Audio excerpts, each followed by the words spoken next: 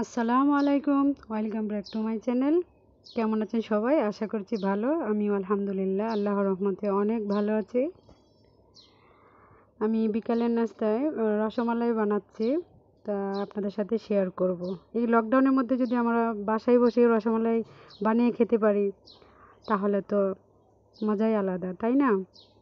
তাই ভাবলাম আপনাদের সাথে আমি শেয়ার করে নিই। ভিডিওটা করার মধ্যে দুই মিনিট ভিডিও আমার ডিলেট হয়ে গিয়েছে, তাই আমি সম্পূর্ণটা দেখাতে পারছি না। সেজন্য কমা দৃষ্টিতে সবাই দেখবেন, আমি তাতে অনেক দুঃখিত।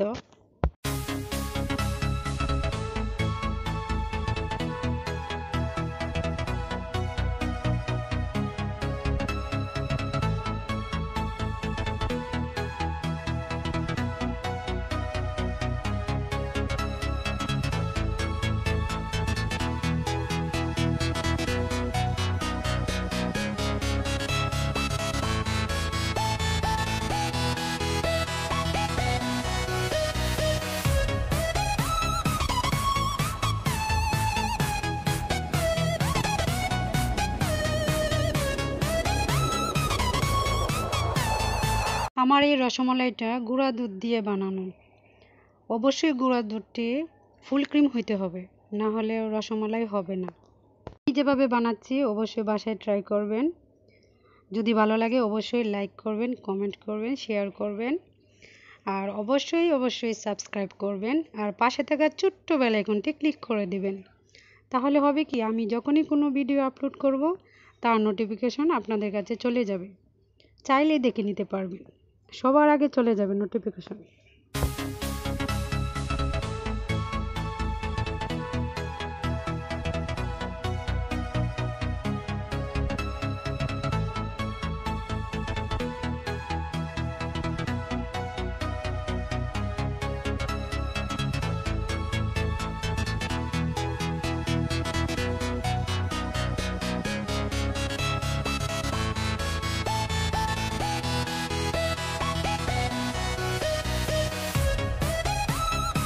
রসমালাই বানানোর জন্য এখানে আমি নিয়েছি হাফ কাপ গুঁড়া দুধ, ফুল ক্রিম। আমি মার্কস দুধ নিয়েছি, আপনারা চাইলে ফ্রেশ মিল্ক নিতে পারেন ডানো নিতে পারেন, বা অন্য অন্য দুধ আছে অনেকগুলি, ফুল ক্রিম হইতে হবে। গুঁড়া দুধের মধ্যে আমি দিয়ে দিচ্ছি বেকিং পাউডার। অবশ্যই বেকিং পাউডারটা দিতে হবে, আর তারপর দিয়ে দিব দেড় টেবিল চামচ ঘি। ঘি দিলে অনেক সুন্দর হয়। ফ্লেভারটাও ভালো আসে এবং নরম হয়, অনেক সফট হয় ঘিটা দেওয়ার কারণে। এটা ভালো করে মাখিয়ে নিব।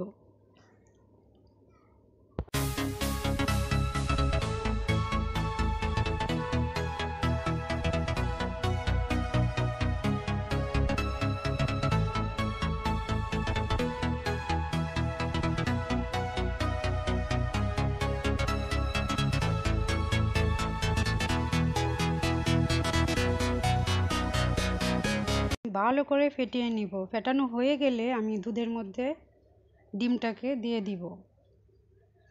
অল্প করে প্রথমে অল্প একটু রেখে দিব। যদি বেশি নরম হয়ে যায় তাহলে আবার বানাইতে সমস্যা হবে।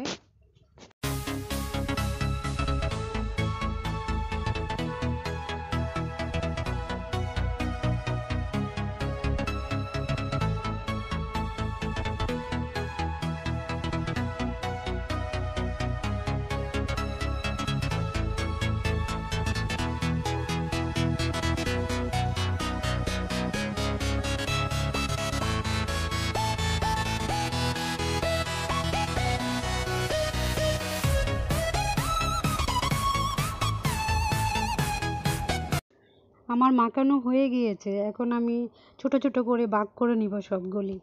তবে শেপ দেওয়ার সুন্দর করে যখন আমি বানিয়েছি শেপ দিয়ে তখন এই ভিডিওটা আমি সেভ করতে পারি নাই ডিলেট হয়ে গিয়েছে। তাই আমি দুঃখিত, অনেক দুঃখিত। ছোট করে ভাগ করার জন্য আমি হাতে ঘি লাগিয়ে নিচ্ছি, না হলে হাতে লেগে যাবে, সুন্দর করে বানানো যাবে না। বা ছোট ছোট টুকরা আগে করে নিচ্ছি, তারপর সুন্দর করে বানাবো আর কি। অন্যদিকে আমি দুধ জাল করে নিয়েছি। এক কেজি দুধকে আমি আড়াইশো গ্রাম করে ঘন করে নিয়েছি। তারপর বানানো হয়ে গেলে ওই দুধের মধ্যে আমি দিয়ে দিব। তবে যখন বানিয়েছি বানানোর ভিডিওটা দিতে পারছি না, কারণ ডিলেট হয়ে গেছে। আবারও বলছি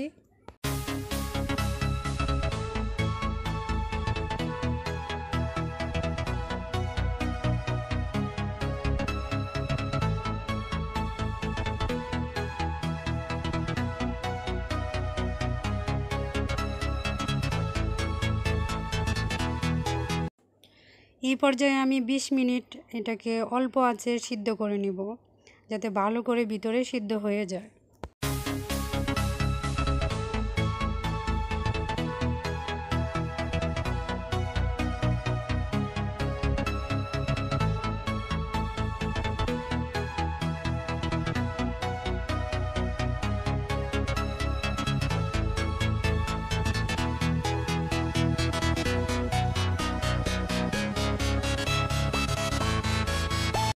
বিশ মিনিট পর এটাকে আমি নামিয়ে নিলাম।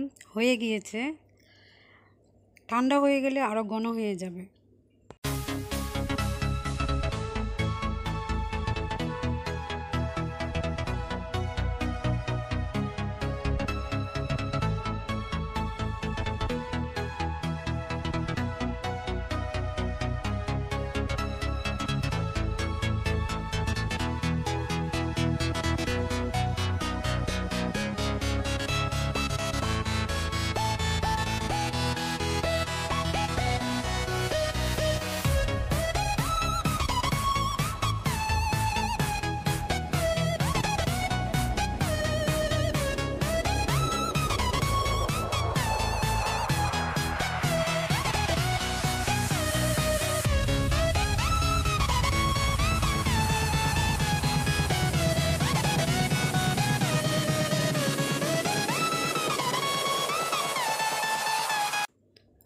দেখতেই পাচ্ছেন কতটা নরম হয়েছে।